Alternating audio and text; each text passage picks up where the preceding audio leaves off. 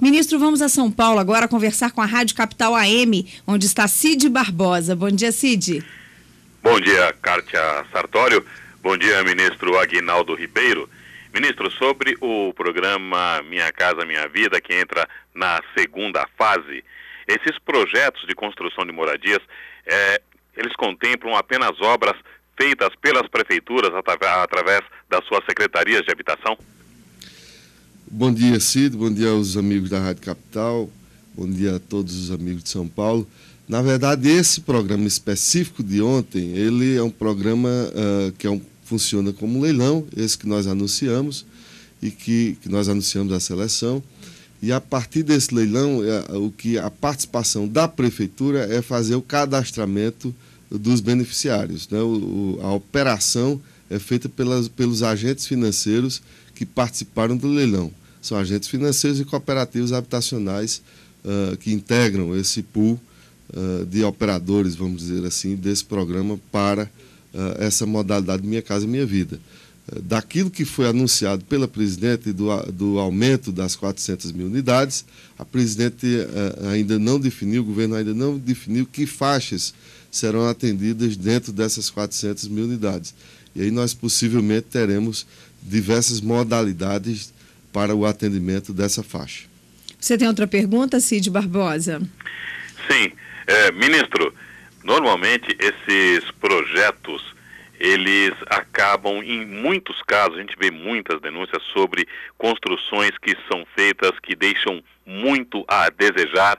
É, empreiteiras utilizam material de péssima qualidade passa um tempo, as pessoas mudam e encontram condições ruins, casas com rachaduras. Como é que está a fiscalização em torno da qualidade das obras do projeto Minha Casa Minha Vida? Olha, Cid, essa foi uma boa pergunta. Eu acho que uh, melhoramos muito na questão da fiscalização.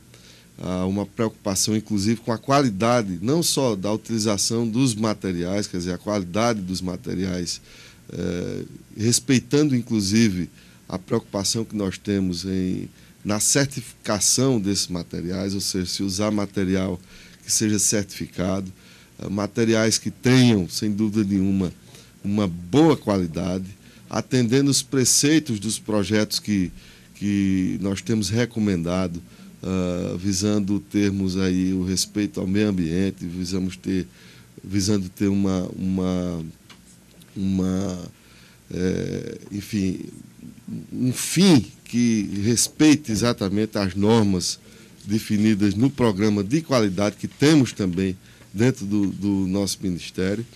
E, e aí é importante ressaltar que houve uma intensificação muito grande, inclusive da fiscalização da própria Caixa Econômica, que é a nossa grande operadora hoje do, do, Minha Casa Minha Vida, embora tenhamos também estejamos uh, recebendo também o Banco do Brasil, que já começou a operar uh, o Minha Casa Minha Vida, e eu tenho certeza que essa, essa fiscalização se traduziu na melhoria da, do resultado de execução do programa Minha Casa Minha Vida. Nós temos visitado alguns conjuntos, algumas unidades habitacionais entregues recentemente e temos visto a sensível melhora uh, de execução.